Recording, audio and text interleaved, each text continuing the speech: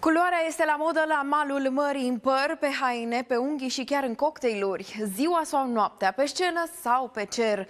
În luminile artiștilor și în obrajii, obrajii tinerilor încinși de alcool, dans și libertate. Pentru trei zile, plaja din Constanța s-a transformat în podium de modă.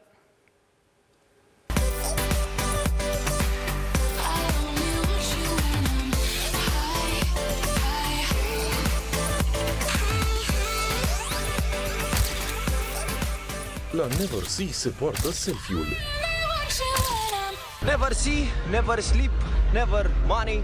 Și două accesorii nu lipsesc din uniforma petrecărețului de la malul mării. Ochelarii de soare, nu contează că nu e soare, am văzut multă lume că îi purta inclusiv noaptea și un tricou așa mai pe modul electric.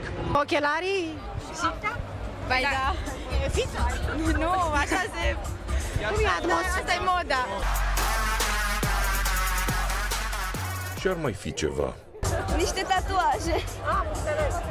Tatuaje. Da, neapărat, spune de ele. Ah, și pe mâine? Da, și pe picioare. Tatuajele fac furor și pe plajă. Acesta este un tatuaj henna. Al ei este de, al meu este din cultura indiană, altul din Maroc. Maroc. Se poartă trupurile pictate și fețele machiate, chiar și sub soarele de iulie. Vii și fără machiaj pe plajă sau doar după ce te aranjezi foarte bine? Da, vin și fără machiaj, dar mă aranjez ca să fac poze. Recuzita de plajă include unghii lungi și brățări de gleznă. Pentru această tânără, o singură regulă contează. Accesoriile cât mai uh, argintii, cât mai aurii, cât mai clipitoare. În schimb, Ana Maria a ales un accesoriu pentru suflet.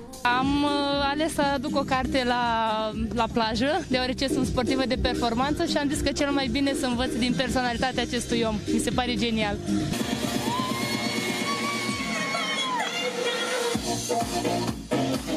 Indiferent de modă sau de buget, la malul mării se poartă fericirea.